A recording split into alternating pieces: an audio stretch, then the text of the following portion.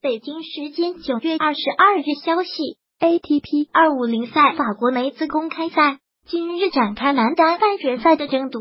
赛会头号种子日本名将锦织圭鏖战三盘，以六杠二、四到六和五到七卡遭德国资格赛选手巴金格尔逆转，遗憾无缘决赛。巴金格尔在决赛中的对手将是法国选手西蒙。后者今日直落两盘，以六杠三和六比一击败摩尔多瓦选手阿尔伯特。金志圭最近一段时间的状态有明显的回升取胜，在刚刚结束的美网赛中杀进了四强敌德约科维奇，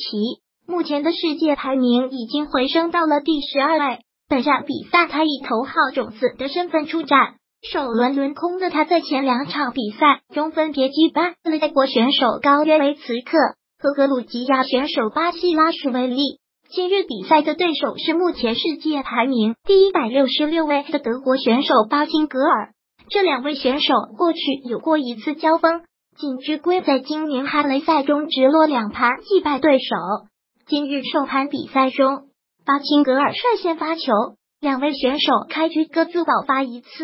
锦织圭在第三局双方战成四十到四十之后，率先完成破发，并且跟着在自己的发球局中打出一个漂亮的 love game，取得局分三比一领先。第五局，日本名将再次完成破发，将局分优势扩大为四比一。随后两人各自爆发，锦织圭一路保持领先，再顺利拿下自己的发球胜盘局之后，以六比二先胜一盘。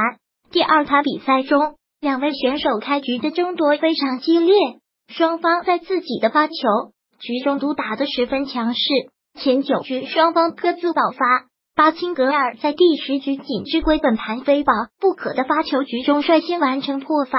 从而以六杠四扳回一盘。决胜盘中，两位选手开局的争夺进入白热化，前六局双方各自爆发战成三到三平。第七局仅之归以小分四十杠十五。拿到连续两个破发点，但是巴钦格尔奋力将其化解之后爆发，局分随后交替上升到了五到五平。巴钦格尔随后在第十二局仅之归非保不可的发球局中完成关键破发，从而以七比五再胜一盘，